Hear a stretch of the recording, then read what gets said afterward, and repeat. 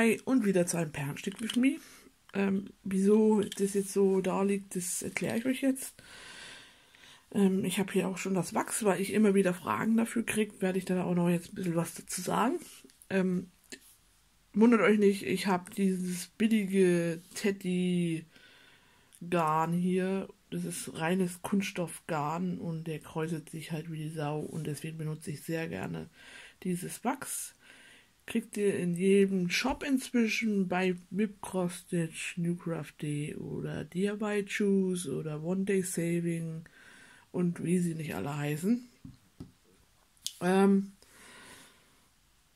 da kriegt ihr die auf jeden Fall dieses Wachs. Und ja, ihr seht schon, ich habe da auch schon richtig Riefen drin. Da seht ihr es. Es wird nicht wenig genutzt. Äh, das mit den Riefen stört mich, weil irgendwann funktioniert es ja nicht mehr.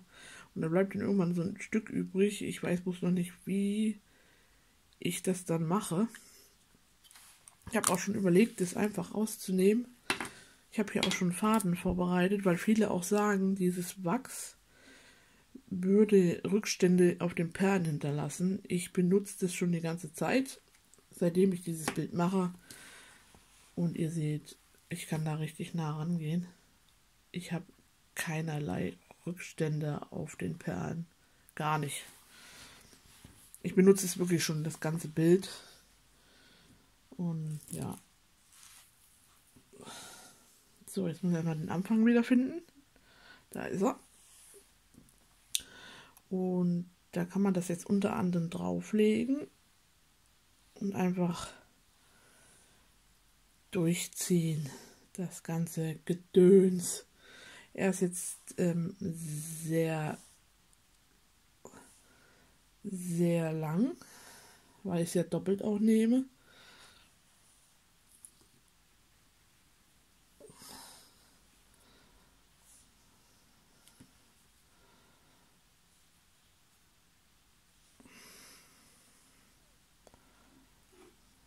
Komm, jetzt liegt da auch noch meine Schere drauf. Ich habe nun, ich nun Kilometer abgeschnitten, Leute. Kann sich nur um Tage, Jahre, Jahrhunderte dauern.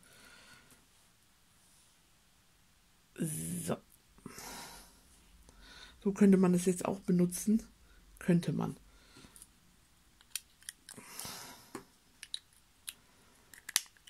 Oder man lässt es da drin. Aber irgendwann sind halt so viele Riefen drin, dass das eventuell irgendwann nicht mehr funktioniert und abbröckelt und was weiß ich. Aber da werde ich mir auch noch irgendwas ausdenken.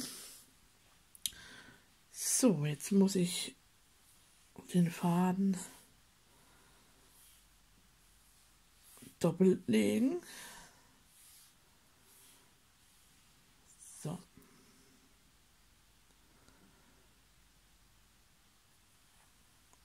So. Dann brauchen wir das Nädelein.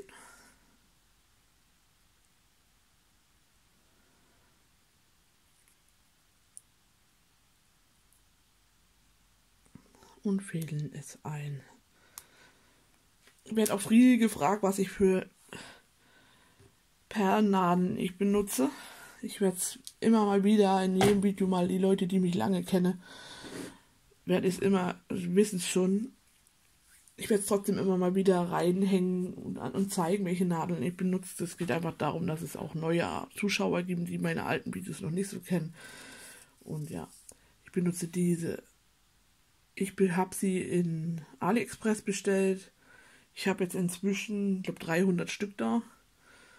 Ähm, da muss viel passieren, dass das, ähm, ja, also ich, es ist ein lebenslanger Vorrat, den ich jetzt inzwischen da habe.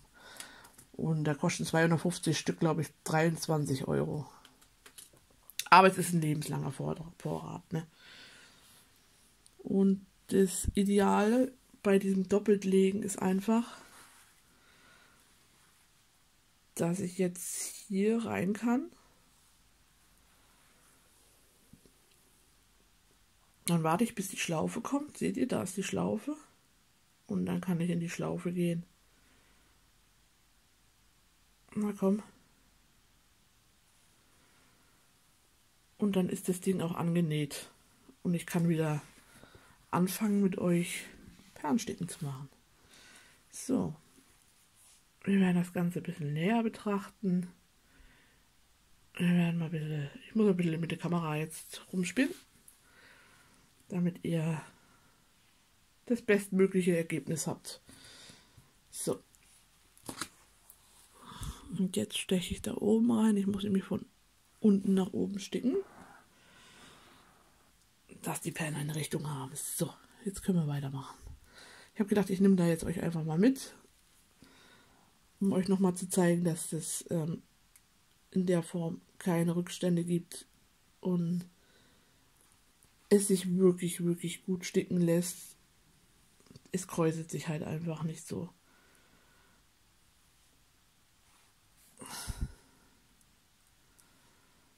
Ihr könnt es auch gern für DMC-Garn nehmen, also gerade fürs Kreuzsticken und so. DMC-Garn ist ja auch so, was sich gern mal kräuselt. Und da funktioniert das auch einwandfrei.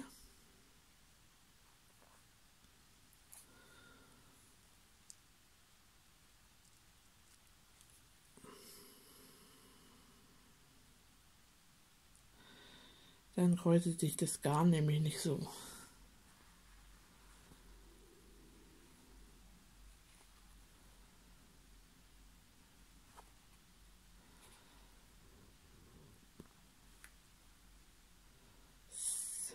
wartet mal. Jetzt passt's. Ähm, Mino ist da.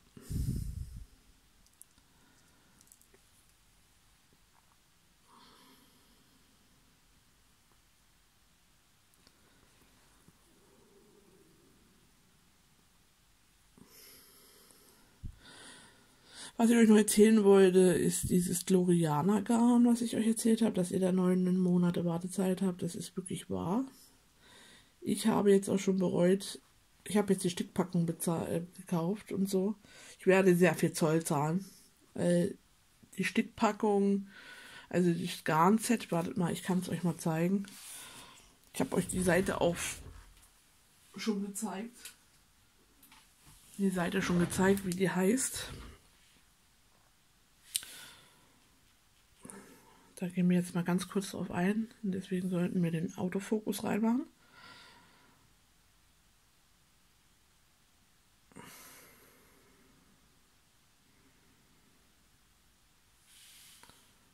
Und zwar ist dieses Euro Cross Stitch, European Cross Stitch, wo du dann unter anderem dein Chatelaine eingeben kannst.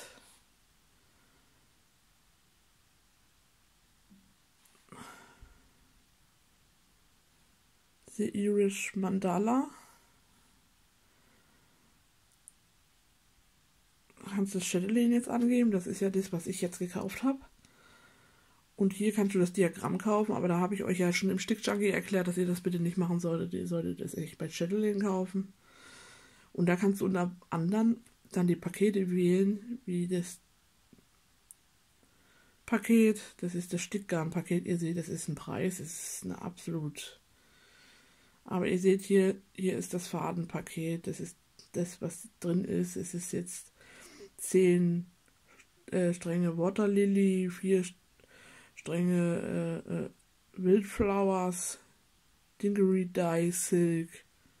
Dinky Dye Silk, heißt das wirklich so? Ich weiß gar nicht. Gloriana, elf Docken, drei Stränge, also drei Docken. Gloriana, es sind immer Docken. Es ist jetzt nicht. Und unter anderem sind halt natürlich ich glaube, die DMC sind gar nicht dabei. Weiß ich gar nicht. Dann ist dieses NPI-Garn dabei.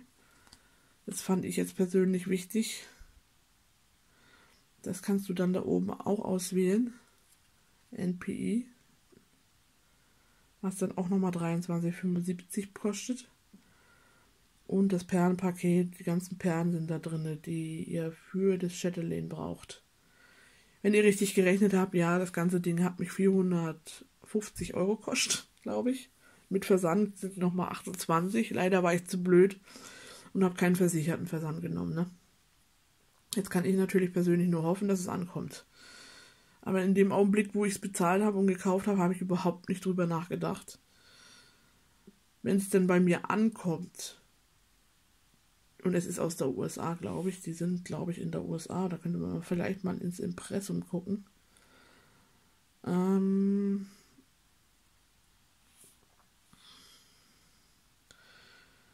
Einloggen, Design, Heimat. Mit den Resize-Seite besuchen Sie die sechs Monate. Wir erleben längere Verzögerungszeiten, in einigen Fällen mehr als sechs Monate.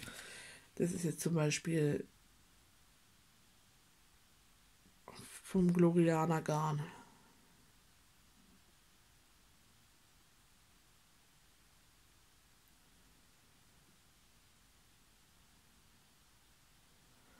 Ja, aber ich habe, sie haben auch hinzugefügt, dass es ohne Gloriana Garn auch schicken. Aber was bringt mir das? Ich will das Chatelaine so sticken, wie es ja vorgegeben ist. Und ja, deswegen.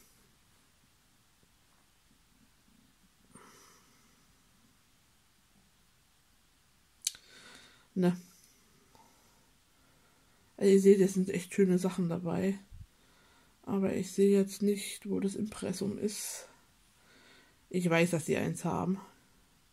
Ah, hier über uns.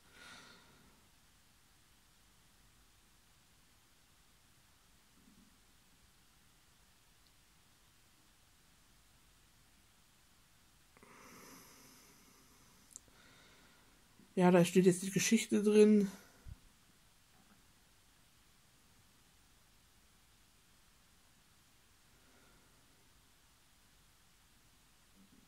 Also irgendwie finde ich da jetzt auch nicht so wirklich, woher sie kommen.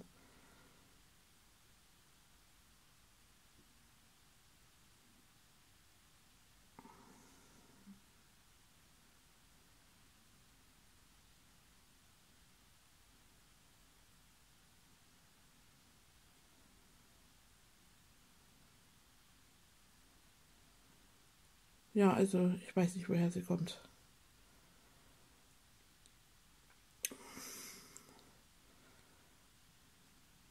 Ja, jetzt bin ich irgendwie bei Spotify gelandet. Ich weiß gar nicht warum.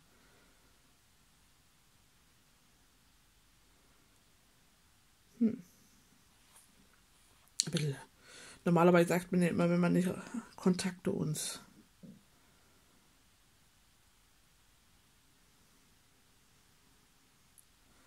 Ja, die sind aus, aus der USA, wie stark davon, Henderson, NV.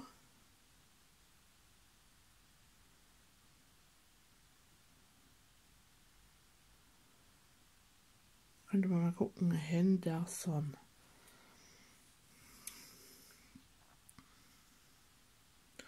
Henderson. Äh, ja, das Haar fehlt, ne? Gleich mal wieder verklickt. Suchen. Boston. Also es ist. Ah, ich habe es vielleicht falsch geschrieben. Nee. Anderson heißt es, glaube ich. Stadt Nevada. Also es ist in Nevada. Also sie kommt wirklich aus der USA und es braucht halt auch eine Weile, bis das dann mal da ist. Ne? Jetzt habe ich euch aber genug voll und gezeigt und gemacht und ich habe mir immer noch nichts gestickt, so wirklich. Ähm, ja, Und die macht das jetzt unter anderem, ich glaube schon eine ganze Weile, ich glaube seit 2010, also schon eine Weile. Und schickt uns diese Stückpackungen. Und wie gesagt, ich habe einfach nicht nachgedacht. Ich hätte diese 50 Euro in die Hand nehmen sollen und hätte es versichern lassen sollen. Nun ist es nicht so. Aber ja, ist nicht schlimm.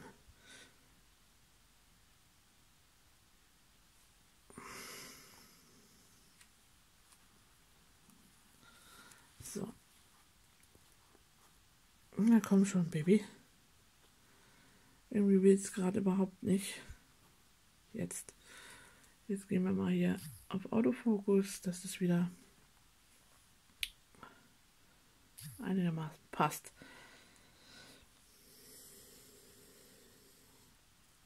Also wie gesagt, also man muss mindestens sechs Monate warten. Ich habe bei einer lieben Abonnentin gehört, die muss, die hat schon eine E-Mail gekriegt, die muss neun Monate warten. Also bis zu neun Monaten. Ich warte eigentlich schon drauf, dass die mich auch anschreibt und sagt, ja, sie müssen auch bis zu neun Monaten warten. Ja, und da musst du ja noch die Lieferzeit berechnen. Ne? Also bis das dann bei uns ist, je nachdem wie das verschickt wird, wenn es mit Schiff kommt, kann das bis zu acht Wochen gehen. Ne? Also das geht dann schon eine Weile. Und wenn der Zoll jetzt dran geht, fast 500 Euro. Müsste mal gucken, was das dann an Zollgebühren sind. Aber das werde ich dann schon früh genug erfahren.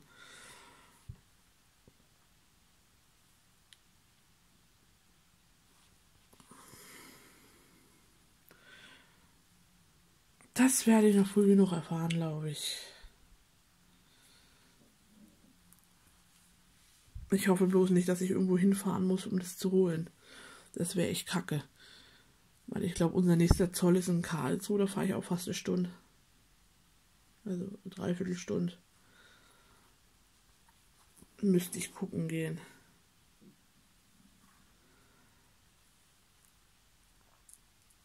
Naja, die werden es mir schon mal sagen. Ich werde euch auf jeden Fall Bescheid sagen, wenn es da ist. Dann kommt es in ein Jig Junkie rein und dann werde ich auch erzählen, wie viel Zoll das mich gekostet hat. Und in der Hoffnung, dass es ankommt. Ne? Ich bin da jetzt auch schon überlegen, ob ich sie anschreibe und einfach den Versand ähm, erhöhe.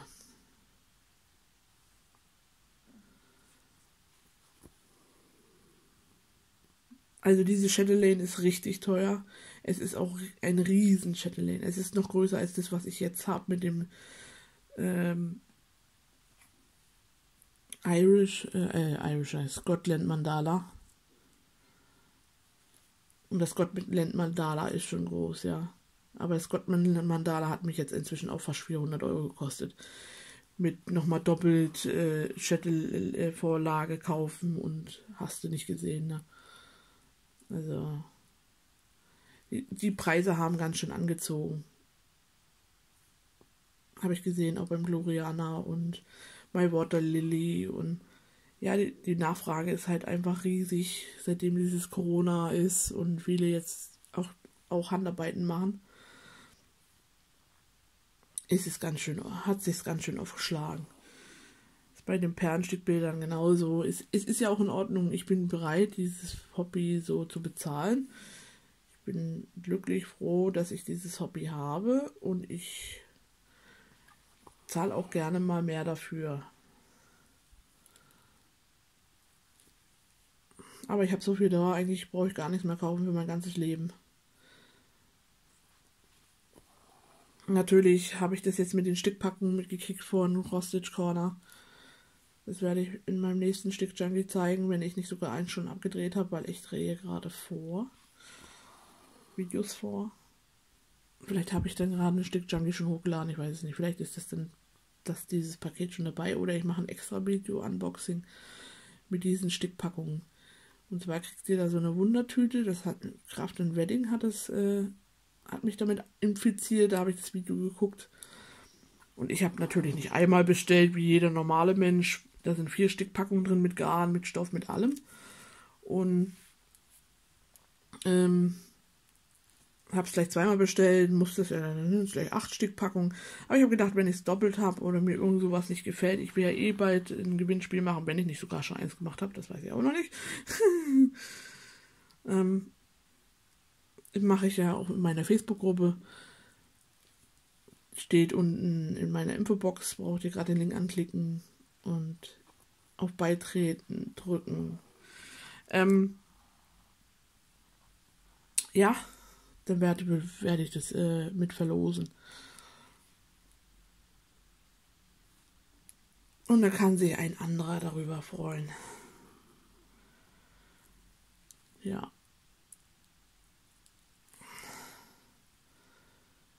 So, in diesem Sinne werde ich mich jetzt verabschieden. ich wünsche euch noch einen schönen guten Tag, schönen guten Morgen, schönen guten Abend, je nachdem, wann ihr das Video guckt. Ähm, ja, macht's gut, bleibt gesund und wenn euch das Video gefallen hat, lasst mir doch gerne einen Daumen nach oben da. Bye!